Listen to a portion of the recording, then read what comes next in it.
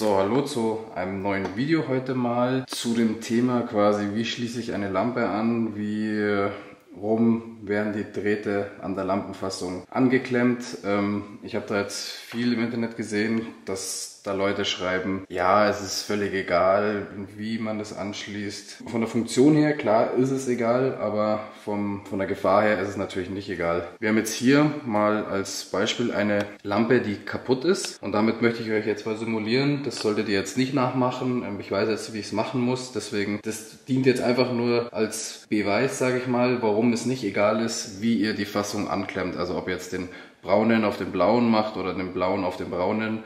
Ähm, genau, das zeige ich euch jetzt mal.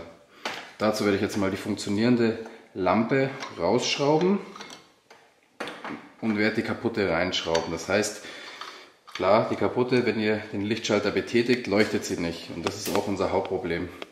Ich werde jetzt hier oben mal die zwei Drähte vertauschen. So, wir haben das jetzt hier mal vertauscht. Und jetzt hier nur mal, dass ihr wisst, was ich meine. Die Fassung hat zwei Kontakte. Ein Kontakt der Fassung geht hier auf das Gewinde und der andere Kontakt geht hier unten auf den Sockel. Richtig ist es, dass die geschaltete Draht auf den Sockel auftrifft und nicht auf das Gewinde. Warum sollte er nicht auf das Gewinde auftreffen? Wir werden jetzt hier mal einsichern.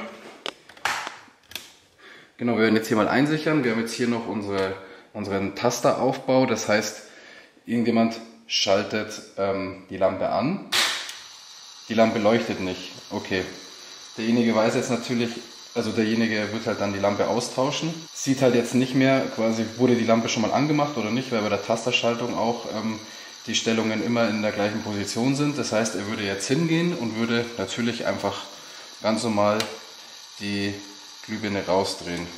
Und jetzt zeige ich euch das Problem an der Sache.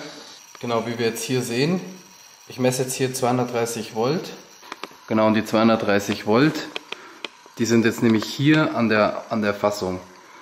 Das heißt, wenn jetzt irgendjemand die wechselt, die Lampe, der weiß natürlich nichts, der könnte halt mit der Hand hier leicht vorne an, die, an, die, an das Gewinde kommen und würde halt natürlich einen elektrischen Schlag bekommen, währenddessen er die Lampe rausschraubt und vorne vielleicht in Kontakt kommt. Von daher ist es wichtig, dass die Phase nie am, am Gewinde anliegt, sondern immer am Sockelkontakt, weil da kommt er natürlich, wenn die drin ist, nicht in Berührung. Also hier ist dann der Neutralleiter am Gewinde und die Phase ist am Sockel, da kommt er nicht hin, da ist die Lampe draußen und genau. Jetzt wollte ich euch nur mal kurz zeigen, wie könnt ihr das feststellen, welcher euer richtiger Kontakt ist. Also hier ist es jetzt natürlich farblich gut gekennzeichnet. Hier ist es natürlich farblich jetzt gut gekennzeichnet. Wir wissen jetzt hier automatisch, das ist auch eine gute Fassung. Die hat auch hier einen besseren Berührschutz. Die können wir euch auch mal verlinken. Also ich würde auch empfehlen, solche Fassungen zu nehmen, wo, das, wo nach dem Gewinde nochmal ein Gehäuse übersteht, dass ihr da auch im Fehlerfall so wenig wie möglich da in Berührung kommt. Wie findet ihr das raus? Welcher Kontakt ist der richtige?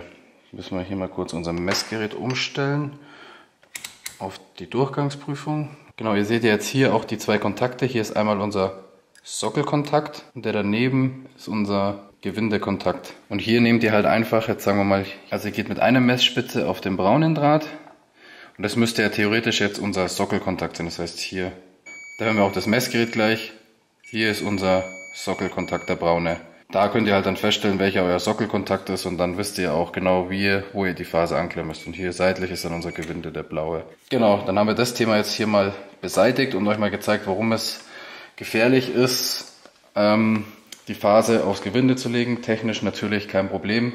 Lampe trotzdem an, je nachdem, egal wie ihr es anklemmt. Aber ja, von der Richtigkeit her und für, um Fehlerfälle zu vermeiden, dass nichts passiert, müsst ihr halt darauf achten, was viele leider nicht machen. Ich hoffe, euch hat das Video gefallen. Ihr könnt gerne einen Daumen oben lassen, wenn es euch gefallen hat. Ähm, wir würden uns freuen, wenn ihr uns abonniert. Wir werden jetzt in der nächsten Zeit wieder neue Videos bringen und dann seid ihr natürlich immer dabei und könnt uns gerne eure Fragen stellen. Wir werden euch natürlich auch, wie ihr seht, in den Kommentaren immer wieder Tipps und hilfreiche Hinweise geben. Genau, dann bis zum nächsten Mal.